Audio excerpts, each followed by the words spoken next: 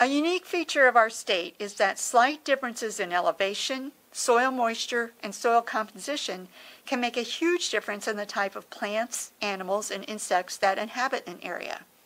The Enchanted Forest Sanctuary is a great example of the diversity that these features create. Part of Brevard County's Environmentally Endangered Lands Program, it was the first property purchased under this program that protects and preserves our county's environmentally sensitive land.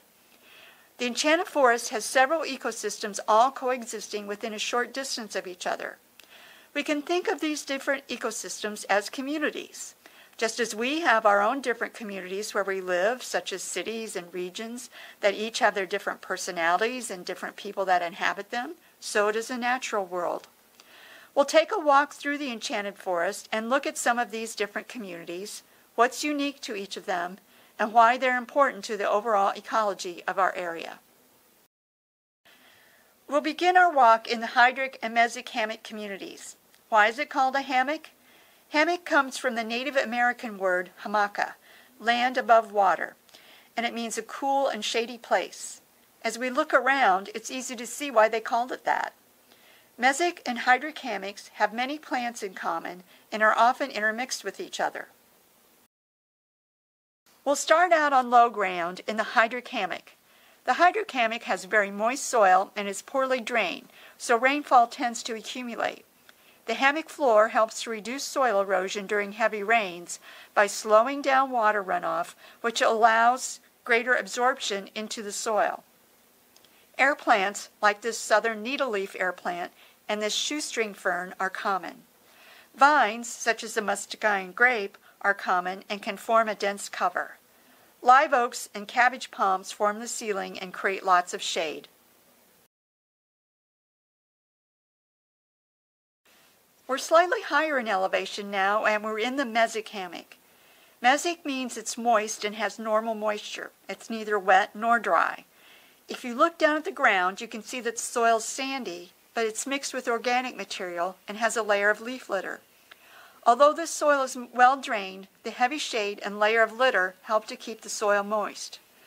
This moist soil and shade make perfect conditions for ferns to flourish on the hammock floor.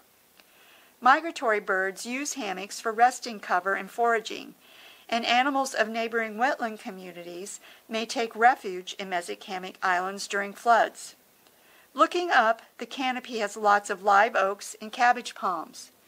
The top branches of these trees form a natural ceiling that provides lots of shade and cover from the intense Florida sun. We can see lots of Spanish moss, air plants, and resurrection fern on the trees. Magnolia trees and pignut hickories are common in the mesic hammock, but won't be found in the hammock due to the excessive soil moisture.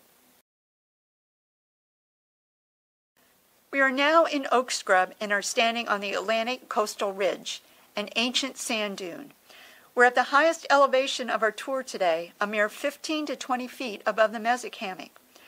The soil is almost all sand. There's very little organic material and it's very dry. Notice how the plants are all very short and scrubby. Plants here have adapted to the very nutrient-poor soil and dry conditions. Fire, sparked by lightning, has historically played an important role in maintaining this community. Animals have learned to adapt to the fire conditions, and some plants rely on fire to spread and germinate their seeds for new growth. Oaks are the backbone of this community. They provide a food web for the residents here. They have a unique way to cope with this dry environment. Only 25% of a scrub oak is above ground. The rest is an underground system of branches that can look a lot like roots. This system enables it to maximize water uptake and sprout back after a fire. Notice how these sand live oak leaves are very leathery and curled under to conserve moisture. If oaks are the backbone of the scrub, then gopher tortoises are the landlords of the scrub. Many species use their long underground burrows to escape from the hot sun and for refuge from fires and predators. Their burrows provide nesting and feeding space for many species. This special place is critical to our quality of life here in Brevard County. These areas improve air quality by reducing carbon dioxide, water quality by reducing runoff and pollution, and provide critical habitat and haven for wildlife. The sanctuary is a place of beauty and calm for us humans to recharge and connect with a world outside ourselves. So I encourage you to come out and visit the Enchanted Forest. And when here, I challenge you to look closely at the plants and wildlife to see if you can see the differences in these communities.